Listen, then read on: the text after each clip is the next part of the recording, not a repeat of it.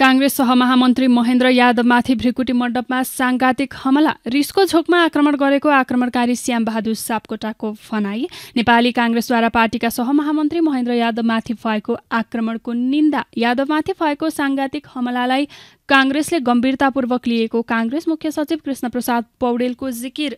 यादवमाथि आक्रमण गर्ने व्यक्तिलाई कडाभन्दा कडा कारवाही गर्न सरकारसँग काङ्ग्रेसको माग।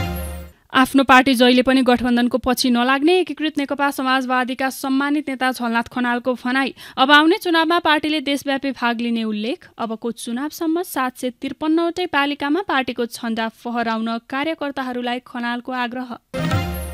आगामी महाधिवेशनमा पार्टी सभापति शेरबहादुर देउवाको तर्फबाट सभापतिको उम्मेद्वार आफू बन्न सक्ने नेपाली काङ्ग्रेसका नेता डाक्टर शशाङ्क कोइरालाको भनाई यस विषयमा टुङ्गो फने लागि नसकेको जानकारी पार्टीका साथीहरूसँग सल्लाह गरेर मात्रै सभापतिको उम्मेद्वारीको विषयमा निर्णय लिने भनाई। विद्युतीय चार्जिङ स्टेसन बनाउनको लागि निजी क्षेत्र आउनुपर्ने नेपाल विद्युत प्राधिकरणका कार्यकारी निर्देशक कुलमान खिसिङको भनाई विद्युतीय सवारी साधनको विस्तार र चार्जिङ स्टेसन विस्तारका लागि निजी क्षेत्रको अग्रसरता आवश्यक रहेको उल्लेख। निजी क्षेत्रलाई चार्जिङ स्टेसन विस्तारमा सहभागी गराउन ऊर्जा मन्त्रालयले नीतिगत सुधार गर्न लागेको जानकारी।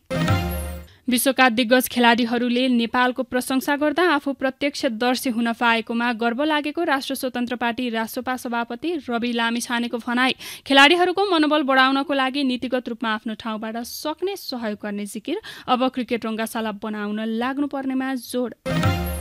भ्रष्टाचार तस्करी कालोबजारी सँगसँगै वर्तमान सरकार अगाडि जान नसक्ने उप प्रधानमन्त्री एवं गृहमन्त्री नारायण काजी श्रेष्ठको भनाई तस्करहरूलाई कारवाही गर्ने सम्बन्धमा प्रश्न उठे पनि मूलभूत रूपमा कुनै सम्झौता नहुने जिकिर सामाजिक न्यायसहितको आर्थिक समृद्धि नभएसम्म प्राप्त उपलब्धिको रक्षा हुन नसक्ने उल्लेख नागरिकलाई अनागरिक बनाएर विदेशमा पठाउने कार्यमा राज्यका पदाधिकारी तथा प्रशासनका अधिकारीहरूलाई कारवाहीको दायरामा ल्याइ छाड्ने उद्घोष।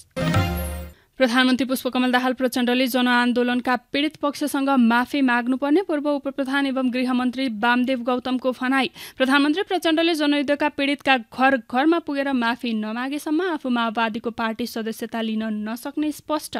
आफू नेकपा एमाले र एकीकृत समाजवादी पार्टीमा जान सक्ने तर नेकपा माओवादी केन्द्रमा जान नसक्ने गौतमको जिकिर। राजनीतिक व्यक्तिको हत्या गर्नु मार्क्सवाद नभई गल्ती भएको उल्लेख। चिनिया राजदूत चेनसोङले भारतसँग भइरहेको विद्युत व्यापारबाट नेपालले घाटा बेहोरिरहेको भन्ने अभिव्यक्तिमाथि खानेपानी मन्त्री महेन्द्र राय यादवको आपत्ति। राजदूत चेनसोङले नेपाल भारत सम्बन्धमा दिएको अभिव्यक्ति कूटनीतिक मर्यादा विपरीत रहेको खानेपानी मन्त्री यादवको भनाई नेपाल भारत बीच कूटनीतिक सम्बन्ध मात्र नभएर सामाजिक आर्थिक सांस्कृतिक भाषिक सम्बन्ध समेत रहेको उल्लेख कोसँग व्यापार गर्ने वा नगर्ने भन्ने निर्णय गर्नमा नेपाल स्वतन्त्र रहेको जिकिर। एसिया कप क्रिकेट प्रतियोगितामा सहभागिता जनाएर नेपाली क्रिकेट टोली बुधबार नेपाल फर्कियो। बाजा गाजा सहित दोसल्ला र माला लगाएर गरियो स्वागत। नेपाली खेलाडीहरूले विश्व क्रिकेटका महारथी देशहरूसँग खेल जित्न नसके पनि नेपाली समर्थकहरूको मन भने जित्न सफल भएको विश्लेषण।